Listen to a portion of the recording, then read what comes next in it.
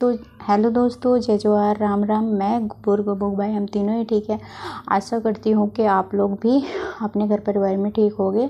तो आज मैं बात करूँगी, जैसे हम प्रेग्नेंट होते हैं तो पेट में बच्चा रहता है तो हम पेट में ही बच्चे के दिमाग कैसे तेज़ कर सकते हैं और बेबी जो है तेज़ दिमाग का कैसे हो सकता है, पेट से पेट में ही।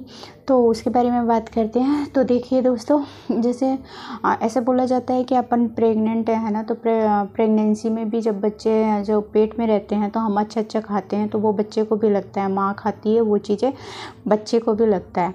तो जैसे, आपके में आयरन की कमी है या बच्चे का दिमाग तेज़ करना है तो आप रोज़ अखरोट खाइए। अखरोट से भी दिमाग तेज़ होता है, ऐसे बोलते हैं। तो आप सुबह शाम दोनों टाइम दो दो या एक एक अखरोट खा सकते हो। इससे भी बच्चे का दिमाग बहुत तेज़ होता है है ना?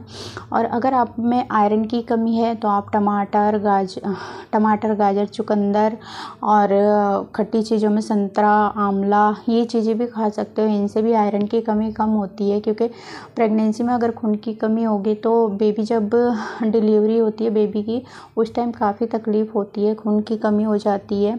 तो इन चीज़ों से प्रॉब्लम भी काफ़ी क्रिएट होते हैं, जिससे ऑपरेशन अगर ऑपरेशन हुआ तो खून चढ़ाना पड़ सकता है और नॉर्मल डिलीवरी हुई तब भी खून चढ़ाना पड़ सकता है। तो आप जैसे डेयरी प्रोडक्ट हो गए, दूध, दही, इनको भी खाइए, इनसे भी काफ़ी फ़ायदा मिलता है और होने वाला बेबी का दिमाग भी काफ़ी तेज़ होता है, ऐसे बोलते हैं। और ऐसा भी बोला जाता है, जो भारतीय राग होती है, भारतीय संगीत होती है, उनको सुनने से भी बच्चे काफ़ी दिमागदार होते हैं। तो आप जो अच्छे गाने होते हैं, भक्ति गीत होती है या फिर भारतीय राग होते हैं, जो सात राग बोलते हैं ना, उस टाइप के गाने होते हैं राग वाले वो गाने सुनिए, उनसे भी बच्चे का दिमाग काफ़ी तेज़ होता है तो आप उसको भी सुनिए, क्योंकि बच्चे का दिमाग पेट से लेके जब वो जन्म लेता है तो पाँच साल तक बेबी का दिमाग का विकास होता है है ना? पैदा होने के बाद भी पाँच साल तक बेबी का दिमाग तेज़ होता है तो वो पैदा हो जाएगा, उसके बाद तो आप खिला ही सकते हो, बादाम, ये अखरोट, ये सारी चीज़ें खिला सकते हो तो पेट में ही आपका बच्चा दिमागदार हो अच्छा हो, इसके लिए आप पेट प्रेगनेंसी में भी खाइए।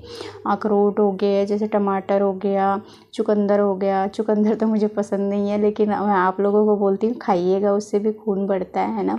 अनार हो गए और इनसे आयरन की जो कमी है, वो भी आपकी पूरी पूरी कंप्लीट हो जाएगी। मतलब दिक्कत नहीं आएगी, बनाना हो गया केला, उसको भी खाना चाहिए। तो ये सारी चीज़ें आप खाइए, है ना? ये काफ़ी फ़ायदेमंद रहता है और बच्चे के लिए भी और आपके विकास के लिए भी काफ़ी अच्छा रहेगा। प्रेगनेंसी में काफ़ी सारी तकलीफ़ें होती हैं तो इन चीज़ों को खाओगे तो आप भी मैं भारतीय राग की बात कर रही थी तो भारतीय राग को, है ना, बच्चों को भारतीय राग जो होते हैं ना, वो अटेंसन देते हैं बच्चों को अट्रैक्ट करते हैं अपनी तरफ़। तो उन चीज़ों को सुनोगे तो बच्चे भी मतलब पेट में ही काफ़ी चीज़ें सुनते हैं। वो तीन मंथ सात सप्ते का होता है, ऐसे बोलते हैं कि सप्ते तीन सॉरी तीन सप्ते का होता है तभी बेबी मतलब मूवमेंट करने, तीन सप्ते का होता है, तभी उनका दिमाग का विकास होने लगता है और वो बाहर की चीज़ों को सुन सकते हैं, ऐसे बोलते हैं। तो वो पेट में रहता है, लेकिन वो बाहर की चीज़ों को महसूस भी कर सकता है फील भी कर सकता है और आप जैसे बात करते हो, उनको सुन भी सकता है, ऐसे बोलते हैं। तो आप जैसे रागों को सुनोगे तो वो उनको अट्रैक्ट करता है अटेंशन देता है। तो आप वो रागों को सुनिए उनसे क्या होता है कि बेबी उन चीज़ों को सुनेगा तो उनमें भी अच्छे गुण आएँगे और अच्छे संस्कार भी आएँगे रागों को सुनने से। अच्छे, बोलते हैं कि अच्छी हैबिट होती है जो प्रेगनेंसी के टाइम माँ के से बच्चे में जाती है। तो आप ये चीज़ें कीजिए, ये अच्छा भी रहेगा आपके लिए भी और बच्चे के लिए। दूसरी बात मैं बताऊँ आपको तो जैसे आप प्रेग्नेंट हो तो हाथ फेर के बच्चे से बात कीजिए, उससे भी काफ़ी चीज़ें होती है। जैसे आप बच्चे से हाथ फेर के बात करोगे तो वो उसको फील कर सकता है, क्योंकि वो उसका दिमाग का विकास तो तीन सप्ते का रहता है, जब ही हो जाता है। तो आप जैसे पेट को टच करके, उससे बात करोगे, उस उसके मोमेंट को फील करोगे, वो मोमेंट करता है, उनको फील करोगे मोमेंट करने लग जाए जब बच्चा तो वो उन चीज़ों को भी महसूस करता है और इससे जुड़ाव भी होता है माँ का। माँ जितना अपने बच्चे से पेट में रहते हैं प्रेगनेंसी के टाइम बात करते, करती है, उतना ही बच्चा अट्रैक्ट होता है माँ से और माँ से उसके रिश्ते मज़बूत हो जाते हैं प्रेगनेंसी के टाइम से ही। तो आप ये चीज़ें भी कर सकते हो, बात कर सकते हो अपने बच्चे से। और दूसरी चीज़ें जैसे वो पैदा हो जाता है, उसके बाद भी जब छोटे बेबी होते हैं, उनसे अगर आप बात करोगे तो वो जल्दी बोलना भी सीखता है और आपकी तरफ़ अट्रैक्ट भी होता है, आपकी बातों को समझने की कोशिश भी करता है। तो जन्म ले ले, उसके बाद भी आप ये चीज़ें कीजिए और प्रेगनेंसी के टाइम भी कीजिए। ऐसे तो गाँव के बड़े बूढ़े बोलते हैं कि ये क्या कर रही है, ऐसे तो बच्चा थोड़ी ना समझता है इन बातों को। गाँव के जो लोग होते हैं, खासकर जैसे मेरे सास ससुर हैं, वो लोग जब मैं गुब्बू से बात करती थी ना, हो गई थी तो उसके बाद बात करती थी तो वो ऐसे ही बोलते थे कि क्या बच्चा थोड़ी ना समझता है।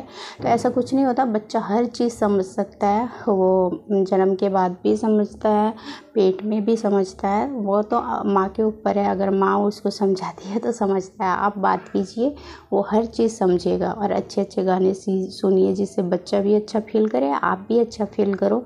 और दूसरी बात, दोस्तों हाँ मैं कभी कभी काफ़ी सैड रहती हूँ, मैं अपने बारे में बात करती हूँ, काफ़ी सैड रहती हूँ क्योंकि लाइफ में काफ़ी प्रॉब्लम है और हस्बैंड का बोलूँ तो हाँ वो साथ है लेकिन वो अपने घर वालों के कहने पे और भाभी के कहने पे कभी कभी वो हरकतें कर जाता है जिन हरकतों को मैं इग्नोर भी नहीं कर पाती हूँ। फ़िलहाल तो वो ठीक से ही रह रहा है अभी। तो भगवान से बस यही चाहती हूँ कि वो सुधर जाए, जैसे भी करके सुधर जाए। क्योंकि दो बच्चे हैं मेरे और ये तो मतलब अलग हो जाना, ये चीज़ें, मेरे लिए अच्छा नहीं है। क्योंकि मैं जहाँ तक सोचती हूँ, रिश्तों को निभाने में ही समझदारी होती है। फिर गलतियाँ हो जाती है तो हो जाती है, लेकिन इन्होंने गलतियाँ नहीं, जानबूझ के किया है हर चीज़। तो मैंने इनको माफ़ तो नहीं किया, पर हाँ रिश्ते निभाने हैं और बच्चों के लिए निभाने हैं तो निभा रही हूँ रिश्तों को। पर सोचती हूँ कभी कभी कि अलग हो जाऊँ, लेकिन इतना आसान नहीं है ये चीज़ें करना। तो इस चीज़ के लिए एडवाइस देना मेरे को मेरे को क्या करना चाहिए? क्योंकि अलग तो होना नहीं चाहती मैं, क्यों काफ़ी आगे बढ़ चुकी हूँ, रिश्ते भी और बच्चे भी हैं दो। तो चलिए अब मैं कभी अपनी स्टोरी बताऊँगी आप लोगों को। वैसे मैंने स्टोरी डाल रखी है। अगर जो मेरे इस बारे में जानना चाहता है कि मेरी लाइफ में क्या हुआ है, मैं कौन हूँ, कहाँ से हूँ, है ना? आप लोग पूछते रहते हो, कई लोग कि कहाँ से हो आप मैडम? तो हाँ बेटा, एक मिनट है दोस्तों। तो दोस्तों, आप लोग पूछते रहते हो ना कि मैं कहाँ से हूँ, कौन हूँ क्या करती हूँ? तो वो सारी चीज़ें आप मेरी उस वीडियो से जान सकते हो। उसमें सब कुछ डाल रखा है मैंने। तो आप वो वीडियो देखिए, उससे आपको पता चल जाएगा मेरे बारे में। तो आज के लिए बस इतना ही, क्योंकि ये जग जग चुका है छुटक। और ये अभी जगह ही है तो इसको भूख भी लग रही होगी तो आगे नहीं बना रही, मैं वीडियो है ना, आगे कंटिन्यू नहीं कर रही। आज के लिए बस इतना ही, आपको जो समझाना था वो समझा चुकी हूँ। बाकी मैं मेरी स्टोरी फिर कभी एक बार दोबारा से बताऊँगी।